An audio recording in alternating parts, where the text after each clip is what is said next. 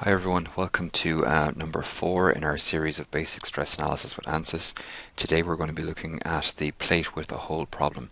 So here we can see um, a standard um, plate with a hole. It's subjected to a load of um, 1000 newtons, a tensile load of 1000 newtons. Uh, the load is 0.1 meters wide, 0.1 meters high, and it has a thickness of uh, 1 millimeter. So we can quite easily calculate the area here.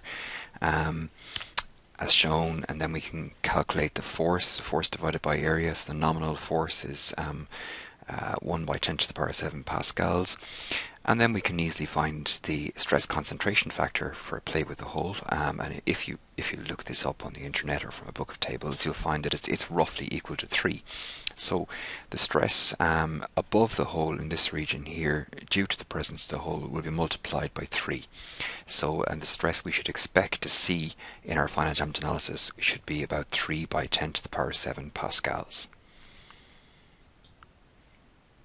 Okay, so I already have ANSYS open here and we're going to jump straight into this and go about um, making a finite model of that problem of a plate with a hole. So as usual we start off by defining our element type. Um, in this case I'm going to take a um, two-dimensional 8-node quad element, so uh, element number 8, uh, 183. Okay, um, in this case we're going to uh, assume we have plane stress behavior and we're going to use plane stress with thickness. We're going to actually enter the thickness as a real constant here.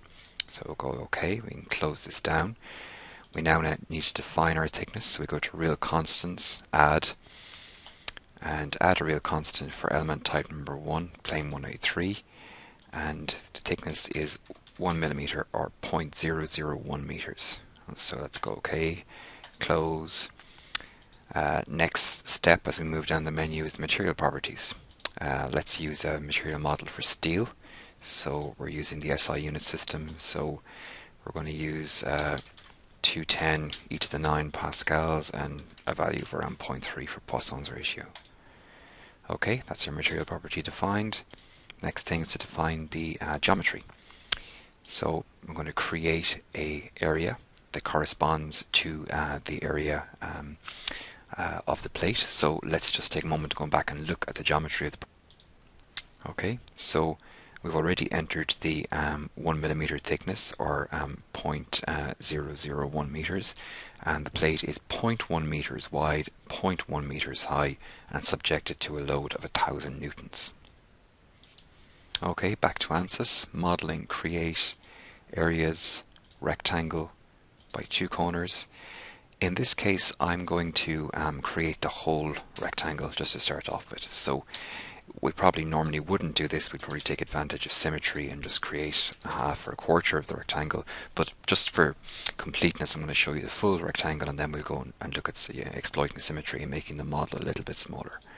Okay, so there's our full um, rectangle or square. The next thing we need to do is create the circle. Uh, so create circle, solid circle. And the origin of this circle is going to be in the center of that square.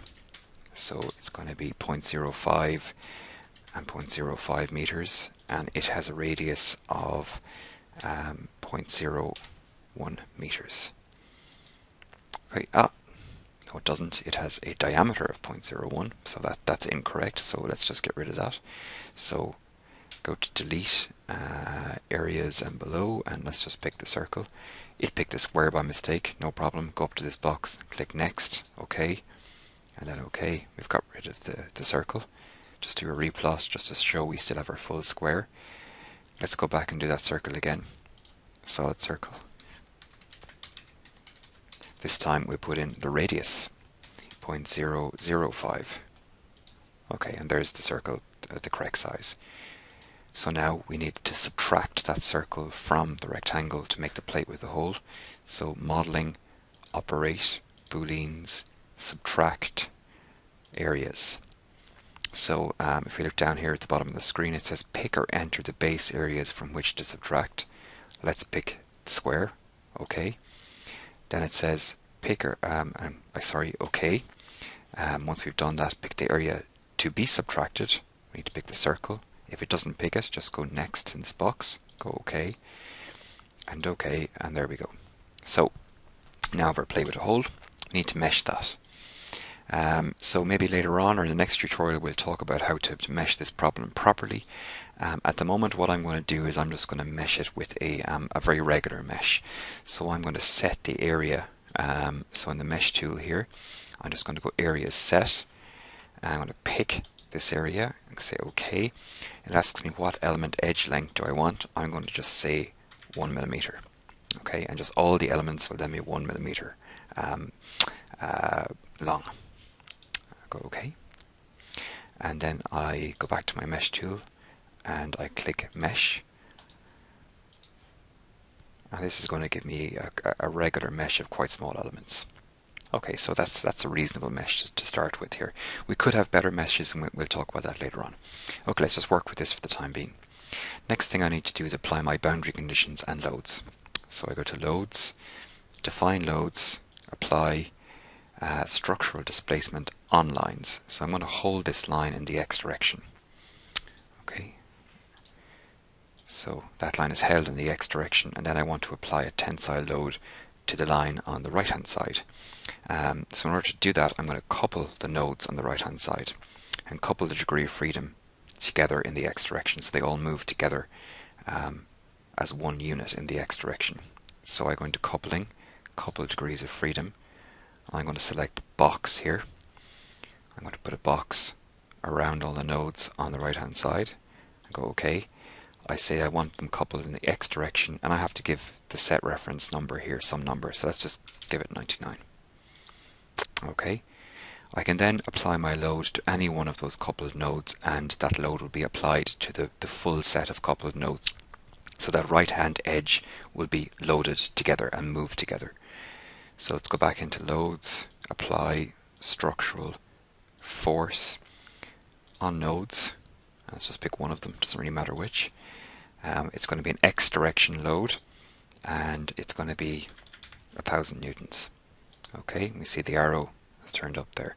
So uh, this this error here is saying both solid model and finite element uh, model boundary conditions have been applied to this problem. Okay what it's what it's saying there is that I applied um, a displacement um, boundary condition to a line here and then I specifically applied a load to a node here. So this one is a solid model boundary condition. This is a direct application of load. It's just warning me if I was doing both in the same place, they can overwrite each other. So that doesn't apply here, so I'll just dismiss that. Um, okay, so if I were to, to, to, solve this model now, there's nothing to actually stop that model uh, moving up and down. Okay, we have no constraints in, in the y direction. So let's just constrain one node in the y direction just to stop it from moving around the place. That could happen due to the way the loads are transferred through the model. You can see some of these elements here aren't orientated um, in the uh, along the x-axis here. Some of them are, are, are, kind of up at 45 degrees and maybe here up at 60 and up at 80 degrees. So it is quite possible we could get some um, internal forces causing the model to move up and down. So in order to prevent that, we put one extra boundary condition here.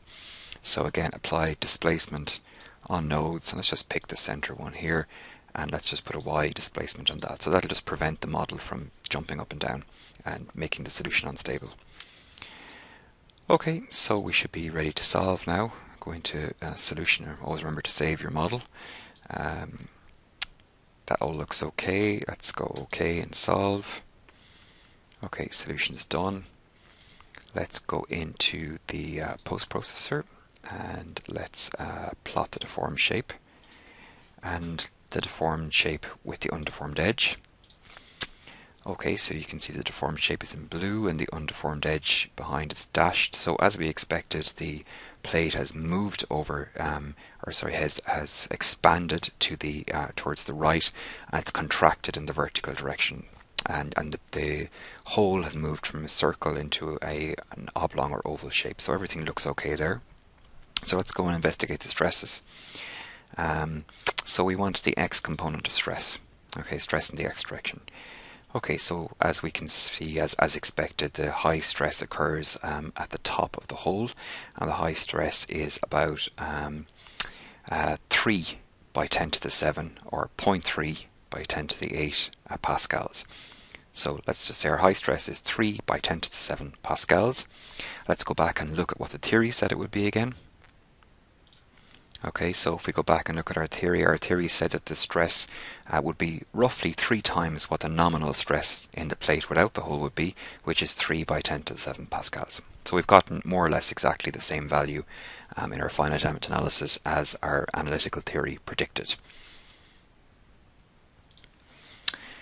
So if we wanted to further investigate the model and see what the, the specific stress was at, at various nodes, we could um, list the results of the nodes, we could you know um, zoom in a bit um, but let's let's zoom in and query the results. So let's click on here on query results subgrid solution and uh, stress in the x direction and go OK so now um, we can zoom in and if we click on any node we can get a specific value for that node. So you can see we're getting um, uh, 0.299 e to the 8 which is basically 2.9 e to the 7 for that value there which again is very close and if we were to pick other nodes in the region, you can see how the, the stress varies. So we can look at individually um, each node. Um, so again, that's quite useful if you want to look at, at specific nodes. Okay, so um, I'm going to finish that tutorial there and in the next tutorial we're going to actually look at maybe um, building this model a little bit more efficiently, maybe using symmetry um, maybe not building the entire model or we'll, what we'll probably do is we'll start with this model and we'll cut bits off it and see if we still get the same result.